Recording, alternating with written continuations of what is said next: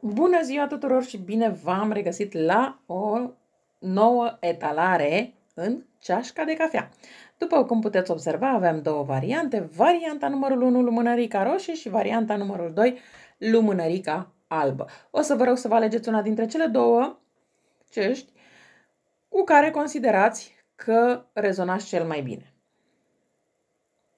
Și o să vă spun din nou nume, numărul de telefon pentru că mi s-a cerut și mi-a zis că uh, nu ați avut timp să îl notați. O să încerc să îl scriu pe o hârtiuță și să îl pun la vedere. Este și numărul de telefon uh, scris, o să-l vedeți imediat, pentru că voi începe cu prima variantă și acum se vede mai bine numărul de telefon. Bun. Și să începem cu cei de la prima variantă. Păi, uh, în primul rând, văd că aici există niște discuții. Pentru o parte dintre voi, aceste discuții au loc cu o persoană din posibil zodia săgetător, dar uh, cred că este um, poate să fie orice altă zodie de foc sau poate să fie vorba de o persoană uh, caracterizată de inițiala M, A sau uh, I și mai poate fi vorba de cifra 4 dacă vă spune ceva acest uh, număr. Văd că sunt uh, destul de multe discuții, n-ar fi nimic exclus aici ca această persoană să fie o persoană destul de toxică pentru voi, o persoană care în preajma căreia nu vă, veți, nu vă simțiți tocmai confortabil. Cumva parcă aveți momente în care doriți să evadați din relația cu această persoană.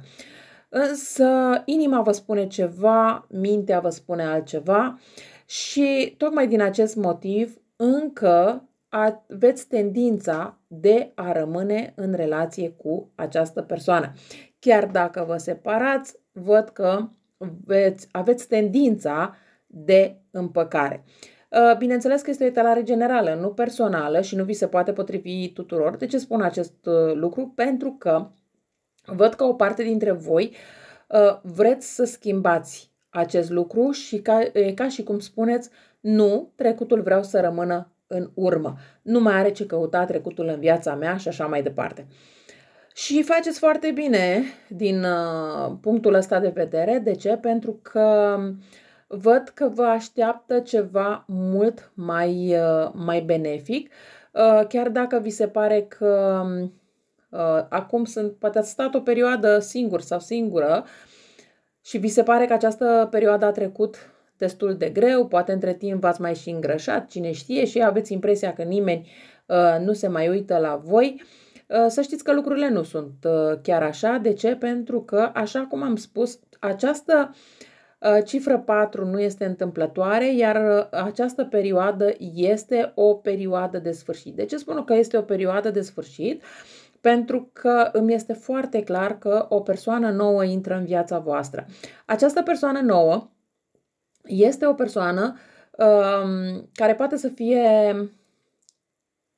are un job destul de bun din punctul meu de vedere. Poate să fie șef, șefă, poate să fie un medic, poate să fie un profesor, uh, poate să fie un medic, uh, da, ceva de această natură. Deci e un job care nu este ales la întâmplare. Este un job care, uh, la rândul său, ajută alte persoane. Acest ajutor, bineînțeles, poate să fie și prin prisma uh, dacă este avocat că ajută alte persoane cu procesele, dar poate să fie și un profesor și ajută prin educație, da? Deci poate să fie și asta, sau un medic, da? Și ajută prin... Deci această persoană cumva, prin meseria sa, ajută alte persoane. Bineînțeles că Uh, voi cred că o să cunoașteți uh, această persoană prin intermediul prietenilor sau cumva într-un anumit fel ajungeți la persoana respectivă, da? Deci dacă e medic poate mergeți la o consultație, dacă este profesor poate vă duceți cu copilul la școală și acolo uh, întâlniți acest, această persoană, da? Deci poate să fie uh, și o astfel de situație. De ce spun asta? Pentru că cumva, dar bineînțeles că puteți întâlni această persoană și prin intermediul uh, prietenilor. De ce? Pentru că văd că uh, cumva mergeți să vă întâlniți cu cineva și acolo întâlniți această persoană. Da? De asta uh, spun că această întâlnire uh, are loc prin intermediul altor persoane. Pe lângă asta este posibil ca persoana respectivă să aibă inițiala S, R sau A și posibil să fie zodia Capricorn, dar poate să fie și o altă zodie cornută, nu neapărat zodia Capricorn. Uh, pe, pentru o parte dintre voi văd că uh, este zodia Taur și um, vă veți da seama de faptul că este zodia Taur, de ce nu știu, se poate întâmpla să aibă un tricou cu inițiala T.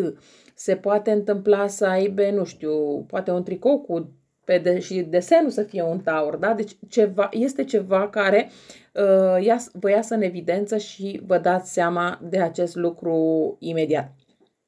Dar ce este bine în acest context este faptul că această persoană rămâne mult timp de acum încolo alături de voi.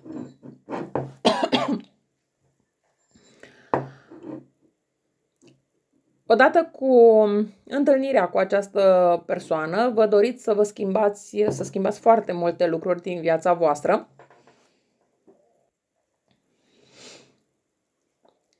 Se poate întâmpla să chiar să vă schimbați garderoba, să vă schimbați coafura, nu știu, ceva de această natură, dar e clar că faceți niște schimbări. De ce? Pentru că uh, vreți să fiți mai atrăgătoare sau atrăgători, vreți să arătați mai bine, vreți să atrageți atenția a acestei persoane mult mai bine.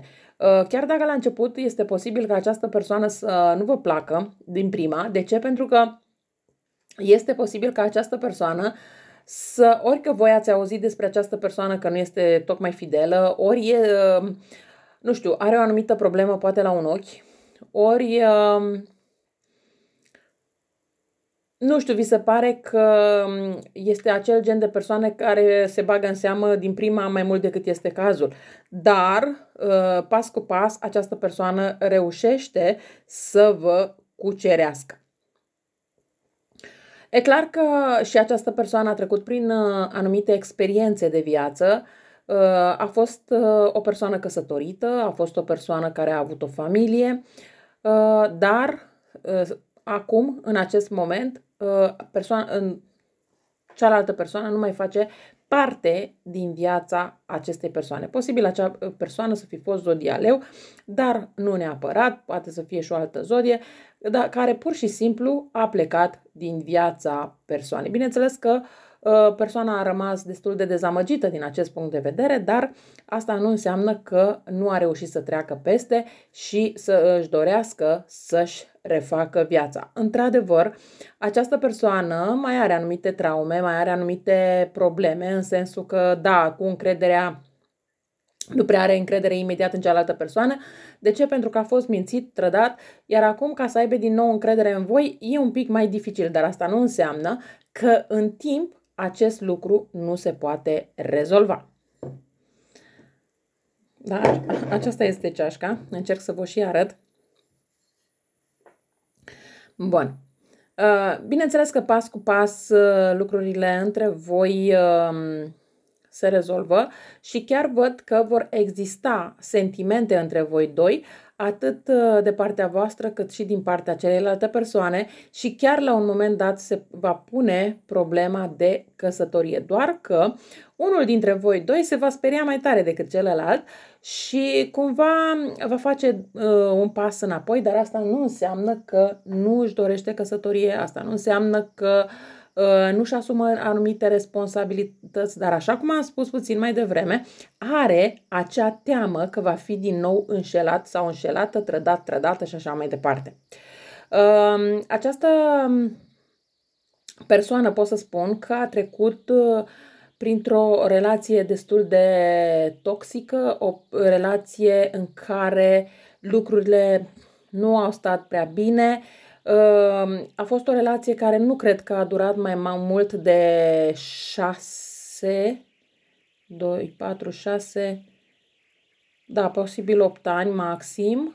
Ehm, iar persoana din viața sa a, a fost uh, o persoană cu părul închis la culoare,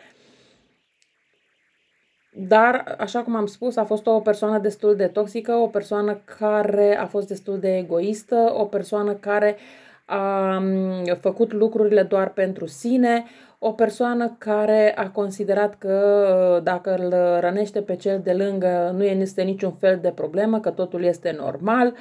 Um, o persoană care, uh, chiar dacă a făcut foarte multe lucruri mai puțin plăcute, um, în permanență a așteptat de la cealaltă persoană să vină să își ceară iertare. Nici, niciodată um, nu a avut curaj să spună da, eu am greșit, eu am făcut și așa mai departe și că este persoana care trebuie să-și ceară iertare. Și din cauza asta, această persoană pe care voi urmează să o întâlniți este un pic mai uh, greu de înțeles, dar asta nu înseamnă că cu răbdare nu veți reuși să înțelegeți persoana și, nu veți, uh, și persoana nu va reuși să treacă peste toate aceste probleme. Ba da, va trece și va trece chiar foarte bine prin intermediul uh, vostru.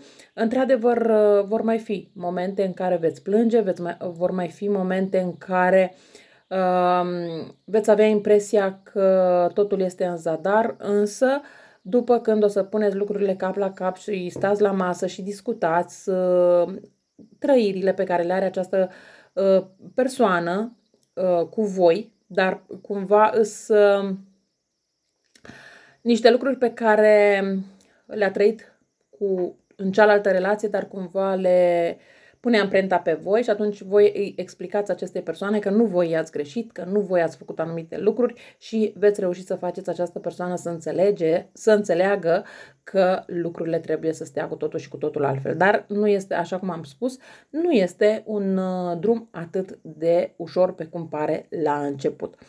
Uh, cred că aici la început va fi cumva, uh, relația voastră va începe poate din milă, din mila că această persoană a fost trădată, din mila că această persoană a fost abandonată cu copil, uh, din, vina că, din milă că nu știu ce s-a mai întâmplat, dar, și dar ușor, ușor începeți atât unul cât și celălalt să aveți anumite uh, sentimente unul față de celălalt și această relație nu se va termina prea curând și uh, nu cred că um, această persoană își va dori să renunțe la voi atât de ușor. Cam astea au fost informațiile pentru cei de la prima variantă. Voi trece la varianta cu numărul 2 și anume lumânărica albă. Să vedem și pentru cei de la lumânărica albă cum stă situația. Păi la voi situația aici văd că este una destul de, de grea, destul de complicată. Uh, Uh, văd că aveți probleme cu un bărbat cu ochii căprui, posibil să aibă și mustață, dar nu neapărat. Țineți cont că este o etalare generală, nu personală și nu vi se poate potrivi tuturor, însă uh, ideea este că văd că există uh, o despărțire între voi și această persoană. Posibil ca această persoană să fie zodia rac sau voi să fiți zodia rac sau scorpion, dar nu neapărat. Ideea este că veți alege să porniți pe drumuri separate. Uh, cumva aceste probleme care sunt între voi nu sunt uh, probleme care au apărut ieri astăzi, ci au mai fost uh, și în trecut, dar cumva ați încercat să treceți peste, ați încercat să le lăsați în urmă, însă ce să vezi, trecutul revine din nou în prezent, adică această persoană nu și-a învățat pe deplin lecția și repetă aceleași greșeli. N-ar fi nimic exclus aici, ca aici să fie vorba inclusiv de o altă persoană și chiar această persoană să fie avut uh, tupeul în care să vină să vă spună da, iubesc o altă persoană, țin la persoana aia pentru că mă înțelege, îmi doresc persoana respectivă pentru că e mai uh, înaltă, e mai, nu știu, e mai frumoasă, e mai deșteaptă și așa mai departe. Dar în final tot la voi s-a întors. Iar acum, așa cum am spus, istoria se repetă. Într-adevăr, istoria în unele cazuri se repetă cu aceeași persoană, dar în alte cazuri se repetă cu o persoană nouă. Cumva, uh, voi ați încercat să discutați cu această persoană, dar parcă uh, discuțiile voastre au fost în zadar, iar acum spuneți mai lasă-mă în pace că m-am săturat, nu te mai cred, nu te mai iert, mi-am pierdut încrederea în tine și așa mai departe, cu toate că această persoană uh, se victimizează. E ca și cum spune, păi din cauza ta mi-am găsit pe altcineva pentru că uh, tu nu ai știut să mă asculți, tu nu ai știut să-mi faci mâncare, tu nu ai știut să, nu știu, da, ceva de această natură, însă uh, nu este problema de vina voastră, e problema de Uh, vina uh, lui sau a ei. De ce? Pentru că dacă într-adevăr voi nu i-ați putut îndeplini aceste lucruri a acestei persoane, putea să vă zică frumos în față să vă despărțiți și asta era. Nu trebuia să caute o altă persoană ca să vă arunce toate aceste lucruri în față. Însă, această persoană va avea momente în care îi va fi dor de voi, în momente în care uh, își aduce aminte de anumite perioade pe care le-a petrecut împreună cu voi, uh, poate, anumit, um, poate anumite gesturi romantice pe care voi le-ați făcut și cumva această persoană, în momentul în care își va aduce aminte de acele momente, uh, își dorește să revină la voi și chiar vă face anumite uh, Uh, mesaje pe tema asta. N-ar fi nimic exclus ca această persoană să vă facă un uh, mesaj în care să vă spună pur și simplu doar atât ajută-mă, ca și cum ar fi um, ar avea nevoie neapărat de ajutorul vostru, dar acea, nu neapărat că are ajutor, nevoie de ajutorul vostru, dar pentru a vă face să vă întoarceți înapoi. Um,